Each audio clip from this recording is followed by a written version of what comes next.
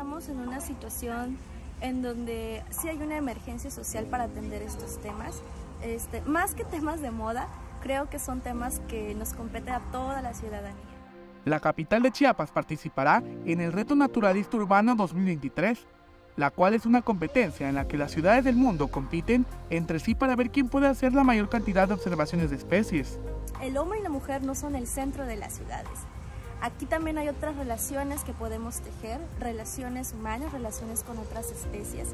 Y, creo que precisamente este reto naturalista urbano tiene esta convicción de, que a partir de este registro que se hace, que hará la ciudadanía que se sume el reto, eh, pueda generar esta conciencia, esta visibilización, esta representación visual de con quienes más compartimos nuestras ciudades.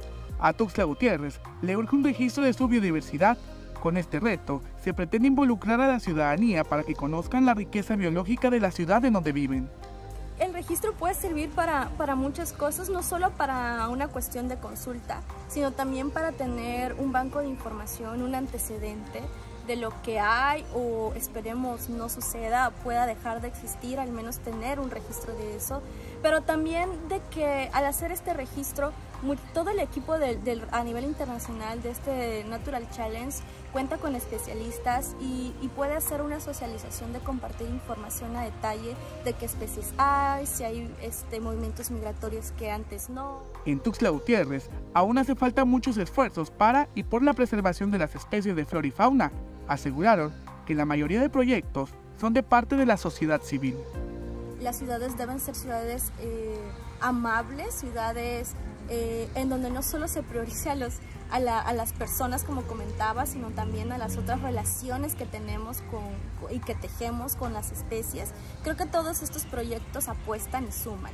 El reto naturalista es uno de ellos, pero seguramente van a haber más apuestas y eso me, hace sentir muy contenta de que Tuxtla Gutiérrez eh, tenga esta energía creativa. Finalizó apuntando que hace falta también más intervención de parte de la ciudadanía en cuanto a los proyectos que la ciudad competen.